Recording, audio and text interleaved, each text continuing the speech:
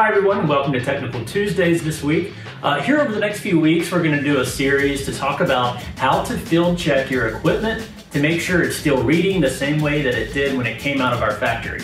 So in this episode, we're going to talk about how to field check your DM32 gauge.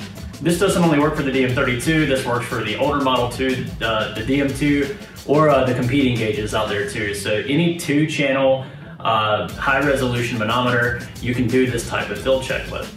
So remember that a two channel manometer like this is essentially two manometers built into one housing. So what we're doing here is we're testing one side against the other. And this is a pretty quick test that you can do that only takes just a few minutes. And there's four different combinations here that you wanna look at. So if you're using the DM32 and we have the color uh, coordinated ports here, we'll test blue against yellow, blue against green, then red against yellow, and then red against green. And we wanna make sure that the DM32 is reading pascals on both channels.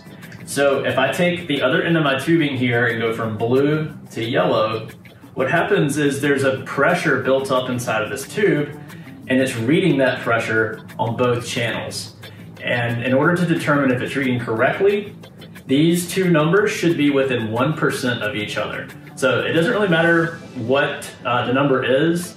Um, with different lengths of tubing, the numbers will vary, but uh, we just want to make sure that it's going to read within 1%.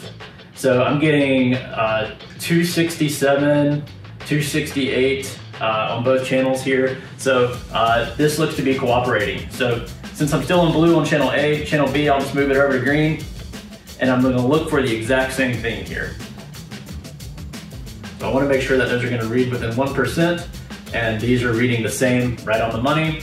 So now I'll switch over to red on channel A and see what we're looking like here. Again, uh, I'm looking for the same thing.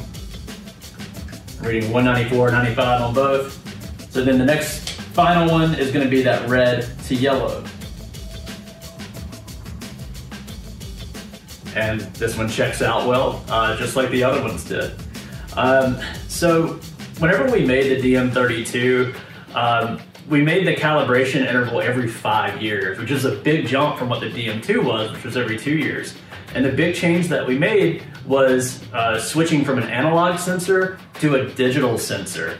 Uh, the digital sensors we found to be a lot more durable and don't really drift out of calibration nearly as much. So that's why we were comfortable giving you that five year calibration interval there. Um, on this clear gauge here, if we were to flip it over, you can actually see the sensors and the uh, pressure switches uh, that are built into here.